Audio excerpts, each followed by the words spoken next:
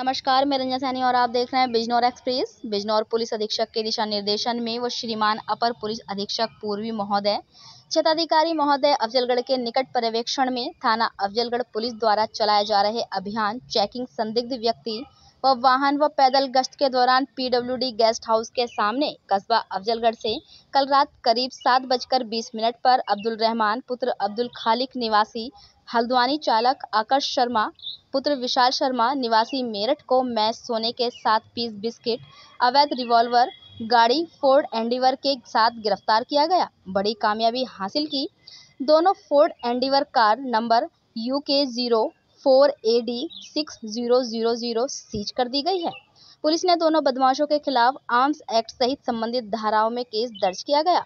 अफजलगढ़ कोतवाल मनोज कुमार के अनुसार अभियुक्त हल्द्वानी, उत्तराखंड व मेरठ के हैं, जिनके नाम लाइसेंस रिवॉल्वर हैं।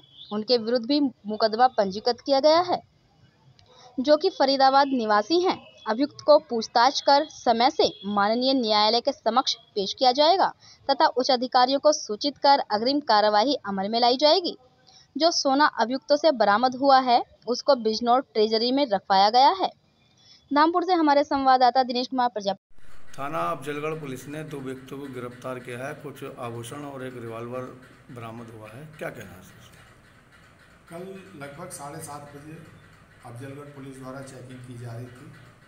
उस चेकिंग के दौरान जब एक इंडेवर कार को चेक किया गया तो उसमें दो व्यक्ति सवार थे, जिनके पास से एक revolver point three two bore की और करीब छः सौ पचहत्तर ग्राम सोना प्राप्त हुआ।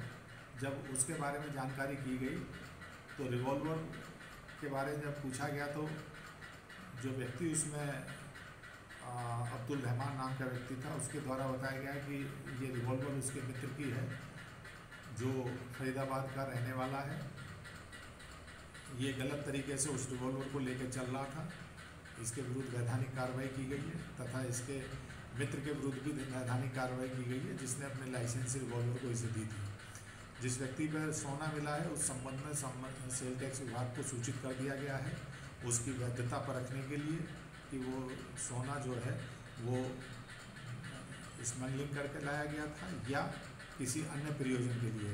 जैसे ही संबंधित विभाग के द्वारा जाँच करके उसमें विधिक कार्रवाई के लिए तहरीर दी जाएगी, उसमें तत्काल जो भी उचित कार्रवाई है वो की जाएगी। जो मार्केट वैल्यू इस सोने की जो प्राप्त हुआ है, बताई गई है, वो लगभग 40 लाख रुपए बताई गई है। दूध, दही, मावा, पनीर, मट्ठा, क्रीम, मक्खन, घी के लिए शमशेर डेयरी पर पहुँचे। यहाँ शादी, पार्टी, जन्मदिन आदि के ऑर्डर बुक किए जाते हैं। एक बार सेवा का मौका ज़रूर दे। पता है, ग्राम मुसेपुर पाली, नूरपुर रोड, आकू, तीन किलोमीटर मुसेपुर पाली, बिजनौर। बिजनौर की सभी ताज़ा खबरों से जुड़े रहने के लिए हमारे यूट्यूब चैनल को बेल आइकन पर क्लिक कर सब्सक्राइब करें।